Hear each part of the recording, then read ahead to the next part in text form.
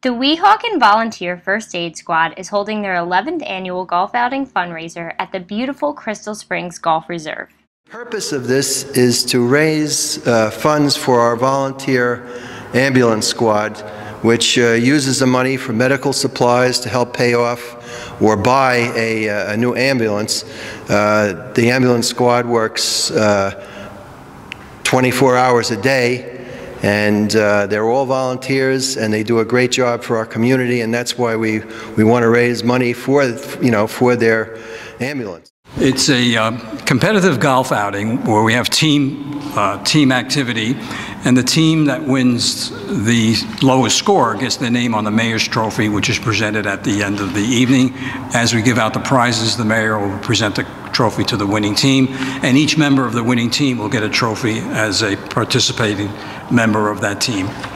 And um, we have also prizes for the longest drive, men and women, nearest to the pin, men and women, and uh, basically that's the, the, competitive part of it. And uh, we're looking forward to it. Everybody has a good time. There's food, there's prizes, and uh, you know, a lot of camaraderie. We're hoping to to raise at, at least a minimum of fifteen thousand dollars for to benefit the ambulance squad. Um, this is our 11th annual meeting.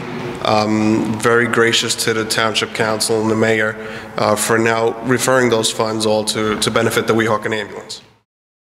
If you're interested in becoming a sponsor for this great event, one way they can they can look into is they could check out our website uh, at golf.wvfas.org.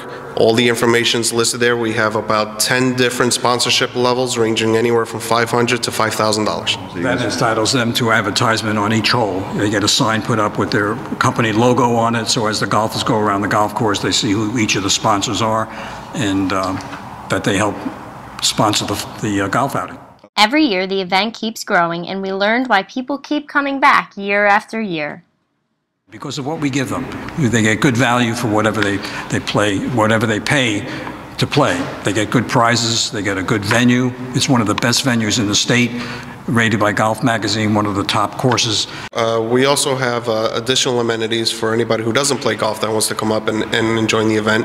Um, anything ranging from mountain hiking to tennis or racquetball. There's also a spa on site where we have massages or manicure pedicures. So there's many different events that, you know, for the non-golfers to come up and spend the day with us and join us for dinner.